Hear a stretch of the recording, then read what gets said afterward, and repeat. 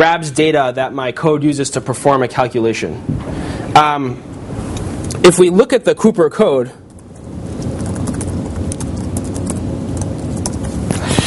sorry, uh, I'm not prepared here, but. Um,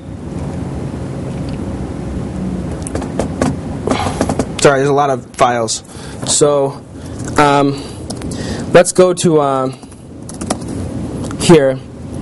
So here's a here's a place, for example, where this is get tag, tag get. So here, notice this is tag get data, but because of the optimizations, these functions are inlined, and the function that at the end of the day gets called is get tag data, not tag get data. So that's an example of where you have to be careful with the optimization. But you can see that I have these big loops that iterate over a lot of things, and I call get ta- tag get data in the loop. So one thing I could do is move these tag get data calls out of the loop. Call it once in the beginning, and then not have to call it again. And then not have to call it every single iteration. And based on the data here, and by looking at the get tag data function, I know that the reason it's slow is because that function has a certain amount of overhead. And if I move it out of the loop, I only incur the overhead once instead of 364 million times. So, um, so that's kind of interesting. Let's go down to the second part. So let's say I want to know, okay, so I have like 100 different functions that call get tag data. So now I want to move this function call out of the loop. But there's 100 different places where I call it. So I have to identify which, which places call it the most times. That way I can kind of at least do one of those places and test to see if, it's, if, that's, if that's useful or not. Um, so if I, that's, that's where the second part of the table is super useful. So I'm going to search for get tag data. And then again, this isn't it because there's no number, there's no number here. Okay, so get tag data gets called 364 million times by tag server get data. So I have to go find that function. Do you see why you didn't know about that from the table at the top? Because, because the table at the top doesn't include information about its children. So we have to go back to get data, which will be above this because, um, so here it is. So tag server get data calls one function, get tag data it calls that function many times. Um, and this function, get data, in it and its children takes up 40% of the runtime of the code. So it spends 4.5 seconds in itself, 14.5 seconds in its children, and and of the 14.5 seconds, all of it's consumed by this one function. But now this is where the part above this function, above the, this line, is super useful because I want to move those function calls out of the loop. So I can see here that 65 million of the 364 million times it's called is in compute face centers. This function here. So the first place I should go and test out this theory of, of pulling this call out of the loop is get face centers, or is compute face centers. And then 36 million of the times is called in compute limiter and then compute areas is 22 million of the times. So you can see how this table is useful. I now know exactly what to do and exactly where to do it.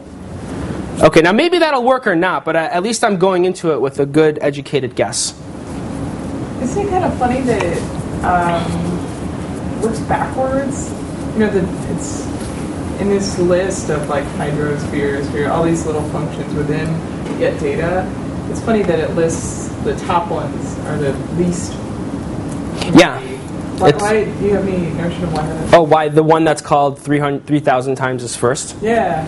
I don't know. I'm assuming that it's just so that when you look here, you get the most useful data. Yeah. Okay. Um, and so, and then again, these two columns say that, okay, compute face centers took 0.8 seconds in itself and 2.5 seconds in its children Well, It's probably because if you took the output of this file, you could then and you knew one one function used a lot of time, you could just grep for that and say get you know the three surrounding lines.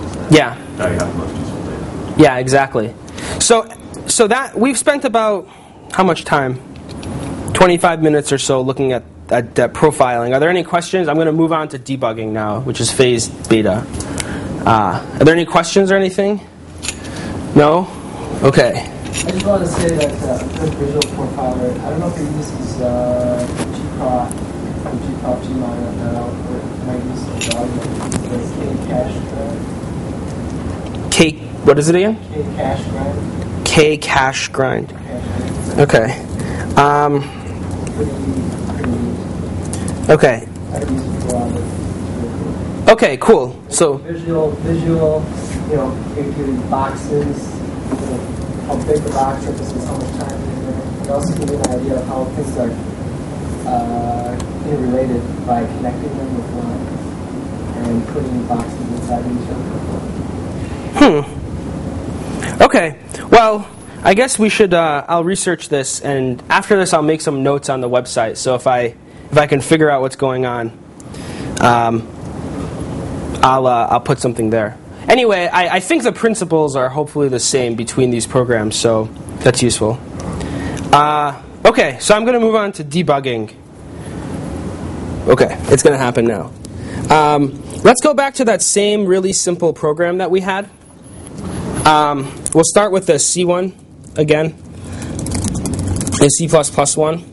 And let's say I want to debug this. So I'm going to do something to this program real quick.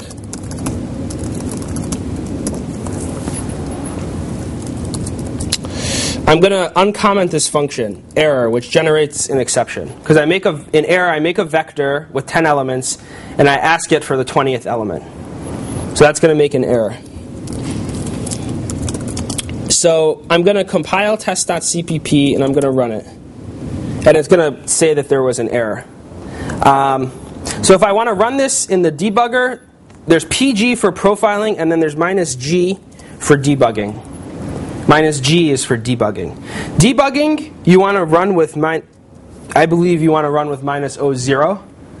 That's what I do because usually your bug will still exist when you run with minus O0 and your code will be you know, the source code you wrote will be identical to what the compiler runs. So minus O0 is really useful for debugging. Sometimes you have to yeah, anyway, I'm not going to say anything else.